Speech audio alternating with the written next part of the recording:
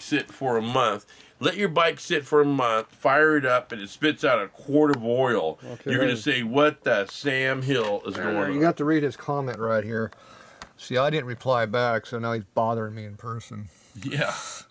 So there's his stupid comment there about his bike using oil. No problem. There's a problem. There's not problem. There's a problem. Then the Sportster came into view. I don't know where the Sportster came from, but anyway, it's an FXR Evo 80 inch motor. Otherwise known as just a Harley.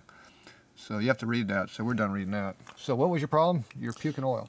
Well, yeah. If the bike sits for three weeks, why is it Ride your spitting out bike more a often. It won't do that. quart of oil out of the breather? Okay, so we're gonna go over here.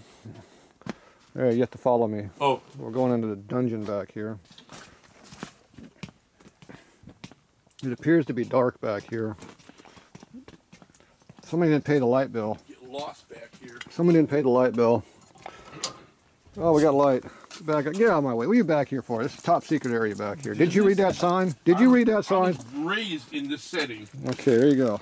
All right, here is a. That's not the right box. Uh, it might be the right box. It probably is the right box. It just looks heavy. It is an oil pump. There. Jesus Christ. If that drops on your foot, it might hurt.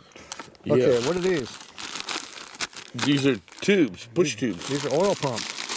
Yeah, what that is, yeah. That's oil pump. You got some kind of fungi going on in the hands down there. I don't no, I do. You.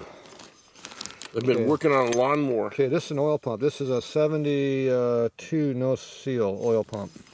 That means it's a real one year only piece of crap Harley made. We don't like that one. Here's a chrome plated one. You like the chrome ones? This Oh, is an early beautiful. one. See, it's got a small, big cap on it. That's, that's an early one. That's a shovel part. And if you get one that looks like this, that's an Evo style pump. So you pull out one of these, well, there's an S&S looking piece of crap there. I bet you that's an S&S pump. Okay, there's a fancy one. You know what between this pump and this pump is? Price. Not very much, because they're the same damn thing. Price. It's just a matter, of all these pumps are all very similar how they work, so it doesn't really matter what year you got. And yes, I am scratching up all my gas surface because I don't care. All right, so here's an oil pump. Yes, oil pump. This is called uh, small gear, big gear. Big gear. Okay, the light's not on. Oh, geez, now I can see. Okay, so big gear is called return pump. My gear, because it has a bigger gear in it. Pump gear has smaller gear. Yeah, pressure. Now you know why smaller? For pressure. Spins. Well, it doesn't matter. A big gear will spin too. The difference is, is the return side has to pump back all the oil that this gear put in, plus a lot of air. So it has to be more volume. Otherwise, you have a wet sumping problem. What's wet sumping problems do? Puke on the ground. Yeah. Okay, so now when you look at your pump on your bike, it looks like kind of like this. There's usually a stupid cover on there, that's kind of like that. Unless it's a newer version, which has a smooth cover on it, which is 92. How does the uh, dry sump So- become wet? You have something that looks like this on your vehicle. Yes, It exactly. has some oil lines out the top. 92, the oil lines come out the bottom, but same thing. When you take that part off, it's the same underneath. Now, you have two fittings up here on your pump. Two. Yes. You have a pressure relief system, that's why it's really tall. There's a plunger that goes up and down there. Now, if you look over here, there's, there's plungers, so you got a bunch of gears and other crap over here. There's some fittings.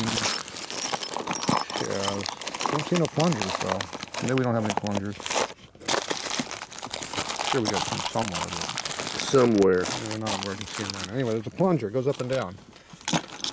Now, when you see the plunger in there, there's one in the bottom Yeah, of the hole in there. See yes. that, see that one inside that hole is a plunger. When that Yes. plunger lifts up, guess what happens? Oil comes shooting out of this hole and lubricates your motor.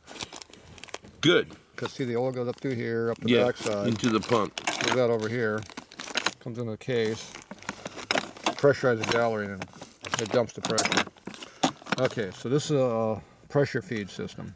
Okay, this one over here is the one that is a check valve, so the oil tank doesn't drain into your pump. When it drains in the pump, it fills the pump up full of oil, comes out the holes, goes to the rest of the bike. Goes to the hole, goes in your case, fills up your case full of oil. Then you have an oil problem called wet sumping. So this check valve in here is what does that. Now, if you want to know what a check valve looks like, there's a fitting that goes, there's a hole in there, A hole. way down in there. See, there's a round hole? Yeah. Look in the camera. See over here, there's a plunger. See Oh yeah, yeah, yeah, yes, see how it looks like there's a plunger inside of the Yes, right there now? is one. Okay, but see, there's no ball sitting there right now, but you can see the round area. That's a circle around the outside of the thread area down there. Yes. But that's way down in there. That's way down just above the surface here. Okay, that is a uh, check ball goes on there and seals. Now, when there's any kind of a nick or a hair or a piece of fungi The hair between the ball and that seat, it leaks. And when it leaks, guess what happens? It fills up the sump. It fills up the pump, it goes in the motor and fills up the sump full of oil. Because you have how many quarts of oil in your oil tank? I'm not sure. I think there's It's probably three. There's an FXR, it's about three.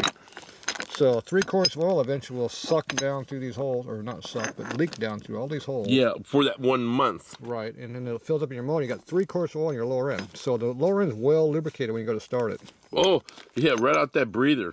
Now the way you fix this problem is, is I take a, uh, a ball bearing, I weld a piece of rod to it, and then I put lapping compound in it, and then I rotate with my fingers until I see a nice good seat down there. The problem is you don't want to put lapping compound on motors all together Ever. because then it goes in your motor and destroys it. Yes, quickly. And it will not look like this because that's El Chunko. Lapping compound's real smooth. It'll be big, so it won't work, but it'll be smooth. So I do this when I rebuild the motors. I lap the seats in. Now after you lap the seat in, you have a, basically a bunch of lines going in a circle. And I take another ball, used one, put it in the pump, and I give it one or two taps with a steel hammer, lightly. And that will take the soft aluminum, it'll crush all the little line markings down, and it'll also spread it out and fit the diameter of the ball, so it gives a nice curve to it. Yeah. Then I put a brand new ball in it, and that usually stops the leakage issues. Now, you want to look there at the seat and make sure it's a nice gray seat all the way around when you're lapping it before you bang it with a ball. Now, after you bang it with a ball, it should be a shiny surface all the way around because the ball will burnish the surface. You know what the word burnish means? Yeah. Okay. That means it re- it changes the metal tone, it nice and smooth, it fits the part. So that's how these things work. Well, that's nice. Now, that's, Elementary. Just elementary, my dear Watson. now you move up to a breather. Now here's a cam cover. You notice it's a generator cam cover. But guess what? It's the same system with the generator, a cone motor, and an Evo. Now, if I look in a different box, I might have an Evo cover. So here's an Evo cover over here. the same thing. Do you notice they look the same? Yes, identical. Not quite, but close. this is called a breather chamber, If you go like that, they look almost the same. and this has a breather tube. Yes, tube. And this one here has a breather chamber and a breather tube. And see this cavity right here? Yeah, that's where the oil is. That's called a breather cavity. That is supposed to be dry. That's why there's a gasket that goes around it. Guess what happens when you got a bunch of oil in your motor? Yeah, it overflows and fills up. It goes up into the breather and then it goes down this tube and it fills up this whole orifice full of oil. So guess Yes. what happens when you put air to it? It pumps it out. It blows it out the darn motor because it don't want Yeah, a quart.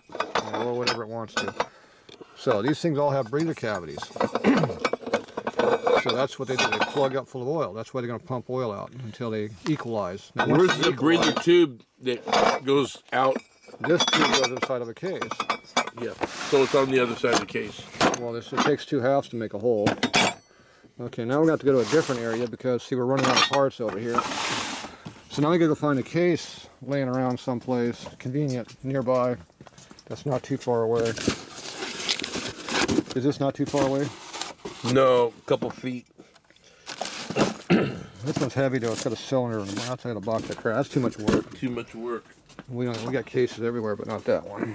Got some flywheels too. All right, we're gonna go find a case. You got a case laying around somewhere? Somewhere. All right. Oh, look at that. We got lights back here. It's cold back here. I'm scaring all the rats. I'm gonna close my door so it's not so cold. Okay, here's a motor. Ew, there's a motor too. That does not have a breather in it. That's not a really Harley motor. That's a twin cam. Not a Harley motor. Okay, this is the left case. This is the right case. This has been polished. This is a show bike. Oh, it's beautiful. Okay, see this cavity right here? I do see it. Does it look similar to the other part? Yes. Yes, that was full of oil. Okay, see this filled up full of oil in here. Yes. The two tubes go like that, so the air goes in, blows around, comes back up, goes back down that way. That's called oil separation. On these older motors, they actually had a screen that went in here that really doesn't do much, but it looks nice. Yes. On the beautiful. cone motors, they eliminate that screen because it doesn't really do anything. The two tubes make the air have to go in, make a U-turn, come back out. When you make that U-turn, the oil will tend to drop out. Now, you see that little hole right there? Where? Yes, that tiny, tiny nothing. Okay, that hole goes down to that bottom down there where you can't really see it. Down inside there, I see it. way down deep. I see it. Now, when the breather valve closes, which we don't have a breather valve right nearby, we can find a fine one because there's another panhead motor sitting here. Oh, here's that screen. Look at that. I found that screen. See, that goes right there. And see, that's supposed to separate the air, so it has to go through this little screen, Yes. which is supposed to keep the, Brilliant. supposed to keep the oil out. It actually doesn't do anything. That's why they took it out. In 1970, they figured out they didn't need it no more. After from 36 to 70, they didn't. They used it, or 69, I should say. There's a breather right there. This is called a breather valve. Right. I've seen them. It, see how it goes open and Yeah, closes? I've seen them. That's why it's a valve. So that goes in a hole like that. It rotates with a cam. So what happens is that goes roundy, roundy, roundy, roundy like this. And as this opens and closes, big ass pistons right here going up and down, up and down. Up and down. Okay, well you got a small cavity down there, and you got a big ass motor up here on the top. Now this one here is probably 100 and something cubic inches because you know it's a twin cam. So what happens is when the pistons go down, there's a lot of pressure, and it pressurizes your crankcase down here. And if you have any blow by, it puts even more pressure down there. Yeah, plenty. And if this valve is open, all that pressure blows out through here, over here, and through the whole system. And that's how it works. Now, when the pistons go the other direction, go up, guess what happens? It sucks. Vacuum. This valve will close, and now this is going to draw a vacuum. Vacuum. That vacuum goes to that hole right there, and it sucks the oil out of this chamber and puts it in the breather chamber. So next time it comes around and opens, guess what? There's oil inside that breather chamber. It goes, blows all over the motor. And that's what lubricates all your lifters and your cam gears and all that crap. These motors are done different because they have a different system, but it's still a breather. It's a new, improved design. Yeah, it's just more splash everywhere, but yeah, it doesn't matter. So that's what this breather valve does. Now I like putting the reed valves in there because we're not dependent on this thing to open and close in the correct position, which is called breather timing. A reed valve goes by a pressure differential. It's either got pressure or doesn't. That's why you got a mark right here, Yeah. a timing mark. You know, well, you actually used to go in there and cut the windows out. And That's critical. that. That timing mark's critical. Yeah, well, if you put a reed valve in there, it opens and closes whenever there's pressure. When it's neutral pressure, it doesn't do anything. When it's got positive pressure, it opens. When it's got negative pressure, it closes. There. So That breather valve has to be timed properly. this one here, you got to time it correctly. And if you don't time it, if you don't have that mark there lined up properly, Then it has what they call oil carryover. That means it keeps oil in the sump. oh, so it's uh, Yeah, it's called Critical. Wet, it's called wet sumping. So, anyway, so this is what keeps this chamber dry. Because if the chamber is not dry, it's going to blow oil out the tube. Guess where this tube goes? into the cam cover. It goes Oh, you mean right the- the there, channel- it and it channels comes out here. Okay, okay, this is where that hose is. Well, on your bike, you have a hose here. On my bike, well, I got a real bike. You got a real bike? Well, this is actually a late bike. This is 69 or 68. What is it? 65 case. But My bike's FXR. on the earlier motors, they have a tube that goes across here and it lubricates the primary and lubricates the primary chain. That's how they did it. That's how this bike over here is done. See, it doesn't have a hole through here. No. It has a big hole out the other side. It comes across and lubricates your primary chain. Later bikes, they actually had an oil line at the top of the pump that did that. Yeah, well, it still works. So, this one here, being a shovel head generator motor, not a pan head. See, it's a shovel head, that's pan head, even though it looked the same. So this one here has a breather hose that comes out here. Guess where that goes to? The breather hose to Yeah. the back of the bike. It went over the back of the transmission and blew on top of the transmission sprocket. It lubricated the rear chain. Oh, okay. That's how the factory shovel head bikes were back in the day. They did up into the mid 70s. They You're doing filming this? Yes, we are. Are you catching any of this? Yeah, all of it. Memorying. He's going to watch this several times to catch all this. Memorizing it. Yeah, I'm sure you are. I am. So anyway, so that's how that works. So it blows across. Now, most people don't like it blowing on their chain because we use a modern chain with chain lube now. It doesn't make nearly that much mess. So we just want this to blow on the ground, and we shut the oil flow off to here because it used to be you had a, a screw on the side of the pump to put more oil in the breather. So because you took too much oil out here, so they put oil back into the system to lubricate the chain. Otherwise, the chain didn't get enough oil. Okay. So we eliminated that by having the chain oil shut off. I'll remember that. Yeah, I'm sure you will. So that's how that all flies. So the other thing you got to do is very important on a Harley is you have to make sure that your vent, which comes out of here, on, on real Harley motors, you have a vent hoob on every motor right here. See, that's not a real motor, so it doesn't have one. no. So it comes out of here. This goes up to your oil tank, which is up here someplace. And that equalizes the pressure between the gear case cover in here, because that's where that hole goes to. This goes right through the case, see right there? Mm-hmm. Right down there. Yes. So this pressure in here in the oil tank is the same. So that means that the oil tank will now have equal pressure, so the oil will gravity feed back down to your pump, so you don't run out of oil starvation. Mm-hmm. It also means when the oil goes back from the pump up to the tank, it's not under a positive pressure going up the tank either, because the tank has the same pressure head above it as what the motor does. Now, if you blow your oil plug off your tank because you have a bad motor, the reason it's doing that is because you have hundreds of pounds of crankcase pressure because your rings suck. Which means when every time the cylinder fires, Blow you have blow by that goes Massive, down yeah. and, it, and it pressurizes your crankcase, and then the breather doesn't work correctly, and, and you blow the tank off, cap off. So a lot of new uh, twin cams have that issue because they have a shitty venting system in these motors. It's like called almost non-existent. Wow. So when you have a motor that doesn't have a lot of blow by, you don't have any problem with your oil tanks blowing caps off, and a lot of oiling issues go away too. Well, it's time to rebuild the engine So when you have the oil So cap pop this- off. That is how your basic system works. Now, everything you do to these things, the motors that gives you more pressures and more returns and all that, and bigger breather hoses, makes them run better because that means the crankcase is not under a pressure in here. so my problem is I need another oil pump. Now, if you have the oil pressure sucked into your air cleaner, then that's how the 92 and later Evo motors are. Then all the oil, instead of blowing the ground, blows inside your motor, which goes right inside the combustion chamber, which causes detonation, which puts holes in pistons. It also makes the pistons nice and oily and crappy like this.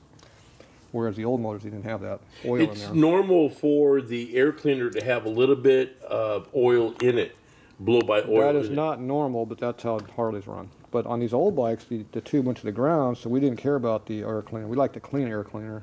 We didn't like an oil air cleaner. Well, that's what I'm saying. And we didn't care about the air breathing because it's, we need air. And we didn't care about oil on the dirt because the dirt was making dust. So having oil blow by on the ground was good. That's how those old bikes are. they dump oil on the yeah, ground. semi trucks are famous for that. yeah, they dump oil on the ground and lubricate the ground so it doesn't make dust. Keeps the dust down. You, you, you don't have the asthma. Keeps the dust down. Yeah, it has it gets rid of asthma and stuff like that. So that's a plus. But you know the EPA says no. But, oh well, that's them. All right, so there's how your basic oil system works on these bikes. So my problem is I need another oil pump on the FX. The problem is, is your check valve is leaking. You have about your oil level on the motor is about this high, Yeah, it is. which means you have three It quarters. sat for a month and it pumped out. It So- spewed out a So quart. when you start the bike up, all of this stuff is well lubricated, oh, and then it lubricates your foot also. it poured out like a garden hose. Yes, it works really good. The same thing happens on your nitrous bike when your rings don't work very well. Use nitrous. The it pressurizes the whole system, and the oil uh, the oil return line. Yeah, it goes crazy. I mean, the oil bre- the breather line for the motor looks like an oil return line. There's so much oil coming out. oh yeah, that's the same problem I have. So you take the motor apart and you fix your rings. You know, you fix your rings on your blower motor. You take them and you stretch them apart and put tension back in and put the motor right back together. Now the That's rings it? now they work. And then then you can make another pass and you don't have to put any parts in, but you got to take the motor apart. And you make it because now that the oil system works correctly because you won't have all this blow by because now the ring is actually working when you put Yeah. the spring tension on it. Yes. Now, s- most people say you're probably supposed to replace parts, but no, you just have to fix them. So, you know, I have a lot of experience with nitrous on Harley motors, so Plenty. those are how you fix those. So, anyway, so that is how the oil system works. Now, the breather hose on your bike needs to go someplace. Yeah, that's the big question. Now, on a Harley, a real Harley, you see it's a rigid frame, so we don't have any problem. Okay, so back in this area back there, there's a, you see how the case is broken back there? Yeah. So you come out of that hole back there. See that hole right there? That's a hole looking. right there. There's a hole right there. That's the Yeah. breather. So you have a hose on that, and you come out of the bike, and you can either dump it right on the ground, Yeah. which just air turbulates under the bike and oil goes everywhere, or you take a hose and you run all the way back to the back of the frame and you shoot it out this direction. Okay. Okay. And most hoses have a curve built into them. Yeah. If yeah. you put the yeah, hose where Yeah. Blows out, Yeah. like a 45 degree Yeah. Right on the out, exhaust pipe. then it's underneath the exhaust pipe because the exhaust is up here. Okay. Then okay. you- okay. When you're going down the road, the oil blows out to the right side, not Yeah. on, not on your tire. yeah. Yeah. Now, if you're stupid, you just let it blow right there. It gets all over your tire, all over the bike, all over your leg, and everything else. Okay. Okay. So you do Okay. it differently. Now, when you have a swing arm bike, there's usually an exhaust That's pipe. what I have. There's usually an exhaust pipe down there. That's a bracket good you looking use. one too. That's a screaming You, eagle. you tie the, br- uh, the hose to the bracket. Now, if you watch bikes I work on, you would see that. I do. I do watch. Now this bike over here, being a panhead, is supposed to have a breather hose coming through these things. Right there, that hole is right there. There's supposed to be a tube sticking through there. But see, you notice this has a belt drive in here. Belts don't like oil. no, no, no. So we modify it and we have the hose going down. There should be a hose down there somewhere, I can't see it. So we take we take the f- elbow up there, we cut the thing off, we put This a is hose a on it. 47. This is a 57. Oh, sorry. It's a, so we put the um, the hose going straight down, and then we run it to the back of the bike someplace. Now, I don't know if it's on the bike yet. It might be. It might not be. I don't remember. No, it looks like there's a hose laying over here on the ground. 57. See that hose right there? Yeah, I do. You see this plug in it? Yes. 'Cause That's the venting. that's because it was leaking oil out of it. Now, if you plug it up like that, guess what it does in the motor? Uh, well, that's the problem I had is I had it pinched with the jack. The underneath. oil no longer comes out of the hose here. It Where'd comes. go? It, comes out of every orifice there is on the motor that it can leak out of. So Well, it was only for a couple seconds So till I noticed that'd be it. cylinder base gaskets, push rod covers, uh, cam covers. Yeah, wherever it can. Wherever 300, 400 pounds of pressure will evacuate from is where it's going to come out of. Now, this was probably leaking, that's why I like that. Now, when I get the bike running, that won't be in there no more. And you take this hose and you just run it to the back of the bike, Yeah. and you just zip tie it over here somewhere like that, Yes. and you just let it blow on the ground. Now, if you blow it Yes. over here on your tire, like that, you're No, stupid. no, too slippery. So you want to blow out like this angle right here. Yes. and it would blow out. Now, I haven't got my exhaust mounted on here yet, but there's going to be a bracket right here, comes out here, and it's easy where I attach it to. Okay. And Like I don't know why there's a cork in there. I'm assuming because it was leaking at some point. Now, this bike has been sitting for a year, At least. uh, November a year ago. We're Yeah. in February now, so yeah. Yeah, That's- February. that's- so that's like a year and a quarter. So I'm not sure how much oil is inside the tank right now, how much is in this motor. But you notice there's not very much oil on the ground, on the road. No, zero. because I make a nice oil tight motor.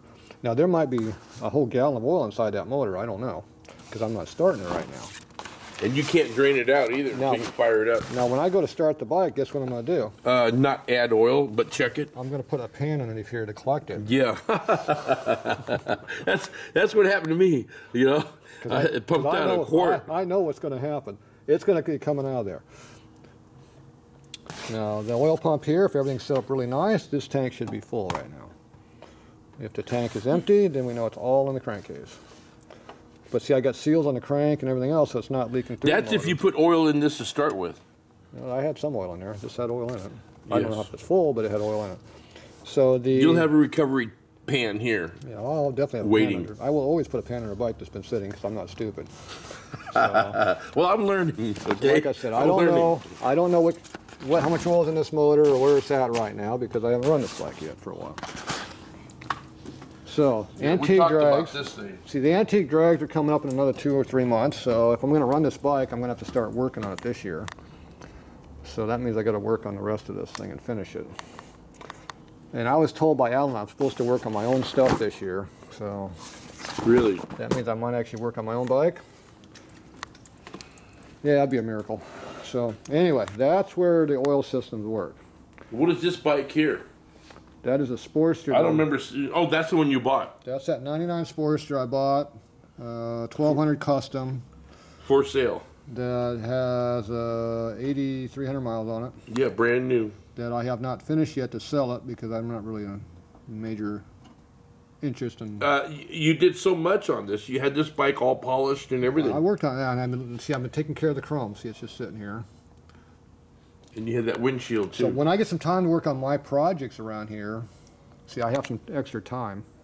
oh, plenty. Then I'll uh, I'll finish this bike up, and then maybe somebody will want to buy it. Otherwise, I'll have to ride it, which I don't really want to do. Because you know how long it'll last if I ride it? Uh, a week. You'll give it that long? I'd rather ride this bike. This is a real Harley. I don't want this late model crap. Fifty-seven. I don't like late model bikes. That's the last year of a Harley. Yeah, fifty-seven. Yep.